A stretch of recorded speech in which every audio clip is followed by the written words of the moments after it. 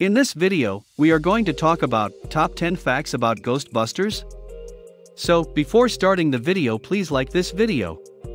Do subscribe and turn on the notification to our channel for future updates. 10. Slimer's real name is Onion Head. The fat green ghost who arrives in the hotel hallway and slimes Bill Murray's character Peter Venkman at the beginning of the first film is the most popular and recognizable ghost in the franchise. This ghost character, who only appears in one scene in the movie, has been known to fans as Slimer and has become the Ghostbusters' de facto mascot. The character, however, is never given a name in the film. Due to the fact that the ghost slimes Murray in the film, viewers and the media dubbed it Slimer. The ghost was dubbed Onion Head by the cast and crew on site since it was observed eating from a room service cart and was said to have terrible breath.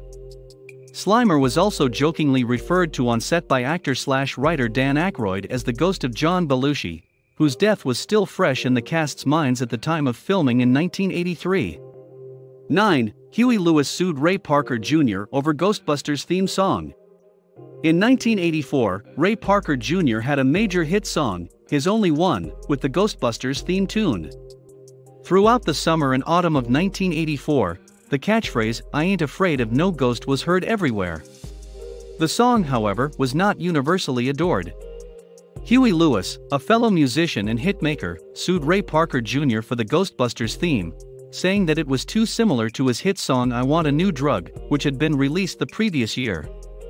The litigation was bitter, and it dragged on for 11 years before a settlement was reached in 1995. Although the terms of the settlement were not made public, Ray Parker Jr. later sued Huey Lewis in 2001 when Lewis publicly addressed the litigation. Huey Lewis was contractually compelled, according to Ray Parker Jr., not to mention the litigation in public.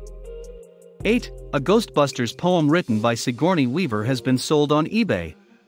Sigourney Weaver penned a poem and read it at the Ghostbusters wrap party in Los Angeles after the film's finish. I am a little Ghostbuster slash Sigourney is my name slash this image cost a lot of bread slash hope lets it makes the same, the poem's first line read. Michael C. Gross later sold the handwritten version of Weaver's poem on eBay for $490, along with a promise to reveal all the inside jokes to the winner.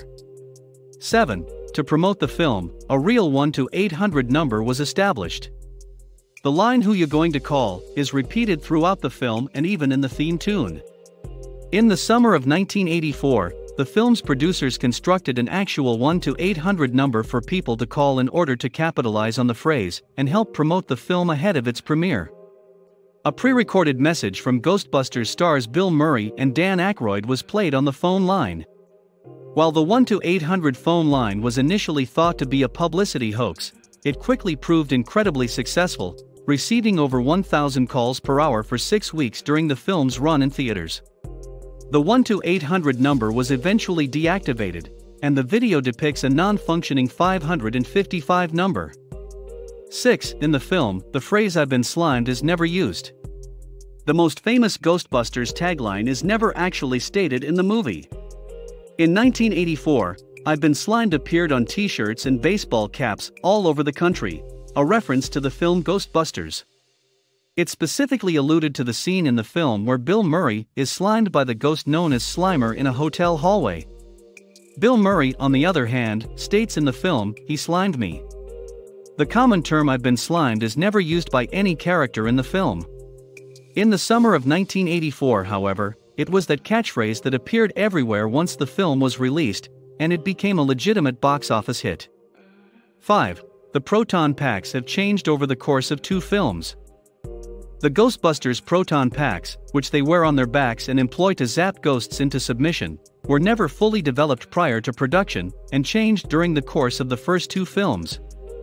In fact, until halfway through the sequel, Ghostbusters 2, the word proton pack is utilized. The proton packs began as simple wands used by the Ghostbusters, akin to the six sticks portrayed in Minority Report. During filming, the backpacks were added by the props department. And the concept that crossing the proton pack streams would result in an explosion was concocted on the fly as the main actors were improvising the movie's climactic scene. Given how closely the proton packs are identified with the Ghostbusters franchise, this is amusing.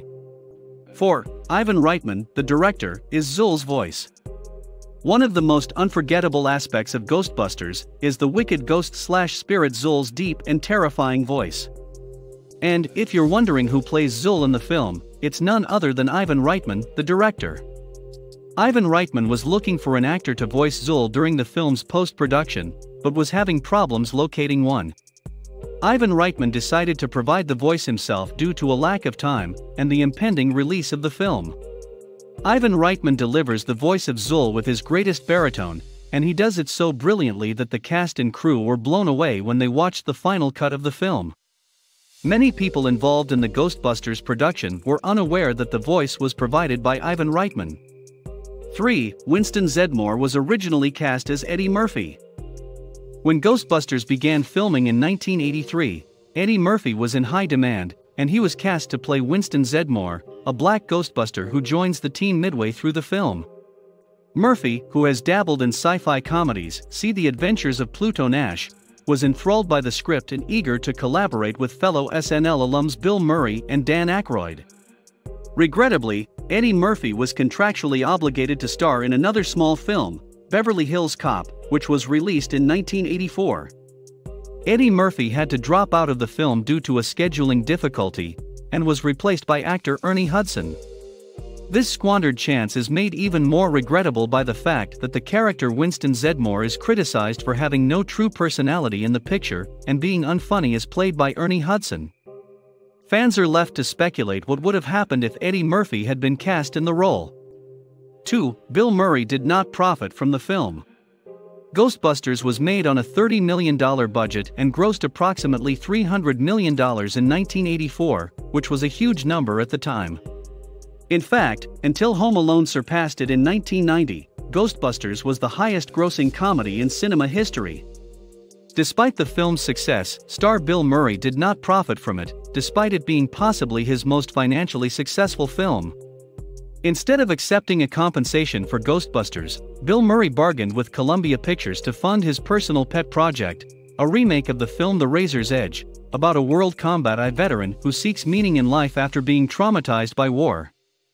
It was Bill Murray's first dramatic role, and he co wrote the script for his film adaptation of The Razor's Edge. The Razor's Edge was a critical and commercial flop when it was released in October 1984. It had a $12 million budget, but only made $6 million in theaters. Audiences and critics were not prepared for a serious Bill Murray, especially following his hilarious performance in Ghostbusters earlier that year. 1. The film was originally titled Ghost Smashers and was set in the future.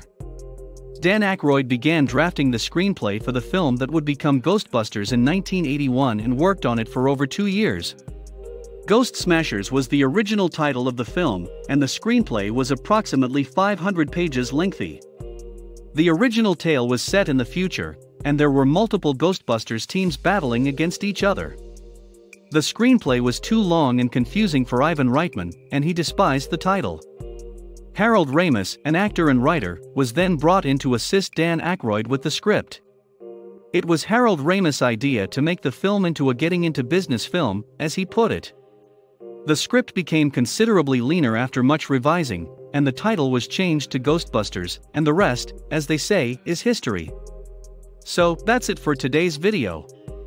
What are your thoughts on our video? Please let us know in comments section below. If you enjoyed this video and want to hear from me again, be sure to hit that subscribe button and turn on the notification to our channel before you go. Thank you so much for watching.